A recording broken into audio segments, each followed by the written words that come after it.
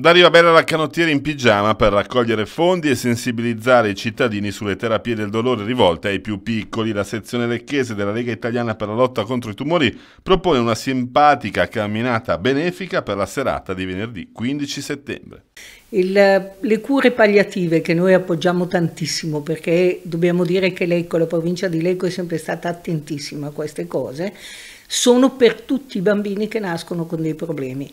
Eh, per noi è importante, uno, appoggiare perché ci sono i pediatri della zona che si sono dedicati a queste cose e stanno facendo dei corsi e ci tengo anche a sottolineare che i corsi per le cure palliative sono sostenuti da Soroptimis di Lecco, che è quell'associazione di donne mh, addette alla, alla, società, molto attente alla società.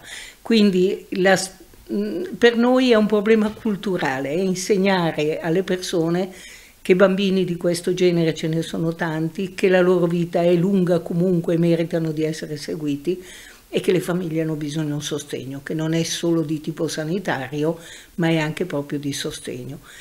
La passeggiata richiederà la presenza dei bambini, la provincia di Lecco ha deciso di non far pagare l'iscrizione per i bambini piccoli, e abbiamo chiesto anche agli animali, se qualcuno ha il cane che è particolarmente attento, visto che gli animali hanno questa attenzione e questa vicinanza a chi ha bisogno e quindi la passeggiata è con tutti.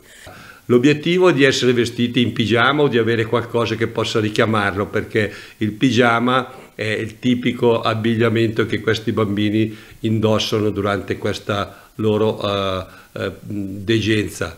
E poi bambini, non è che ci verrà sparato chi non lo indosserà, basterà anche la pappalina, però serve per creare folklore, per creare simpatia e per soprattutto attirare l'attenzione su questo grande evento che eh, per la prima volta riusciamo a portare nella città di Lecco. Volevo particolarmente eh, chiedere alla popolazione di Lecco, a tutti i suoi abitanti, di non, di non, passare inosservati, cioè di aderire. Abbiamo bisogno della vostra adesione per completare il nostro, il nostro sogno, il nostro messaggio. Grazie mille.